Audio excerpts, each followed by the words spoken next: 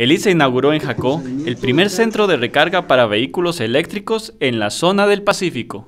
Esta electrolinera, ubicada en el centro comercial Jacó Walk, es la tercera de la institución que pone a disposición del público.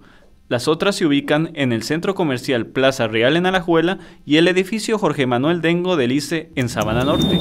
Este es un impulso del grupo ICE precisamente para fomentar el mercado de los vehículos eléctricos en todos Costa Rica. Este es el tercer cargador del ICE y el primero fuera del área metropolitana. Por la promoción que le hemos dado al tema de, energía, de energía verde, vamos como una línea de la mano con la idea que tiene el ICE este plan piloto forma parte del convenio impulsado por el Instituto en conjunto con Corea del Sur, dentro del programa de cooperación para la energía inteligente por medio de la donación de estos equipos. Con este fin, nosotros, de la mano del ICE y de la mano de todos los equipos técnicos que han venido colaborando, hemos provisto de nuestra experiencia, de nuestro conocimiento y en conjunto estamos este, definiendo la ruta a la que el país puede apostar para que llegue a ser los mategas su posición de líder en tendencias de carbono neutralidad y de protección ambiental.